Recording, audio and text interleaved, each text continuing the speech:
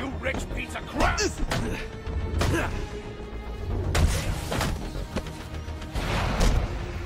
I ain't senses, but this is embarrassing.